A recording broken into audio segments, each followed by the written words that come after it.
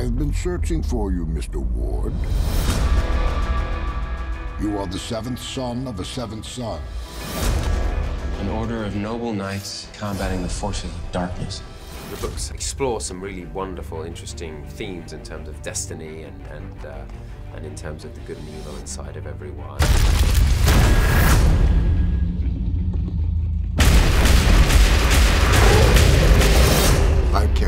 See this movie in IMAX. That's how I want to see it. One of the things about the tone of this movie is that it is big. It's big. It's Yes, fantasy. It's big right. feelings, big mythology. We've done everything we can to make it as sort of visually impactful as it can be. You know, it really immerses you in the experience. When something is that huge, and you're able to kind of enter into the world and into the outrageous size of these feelings too.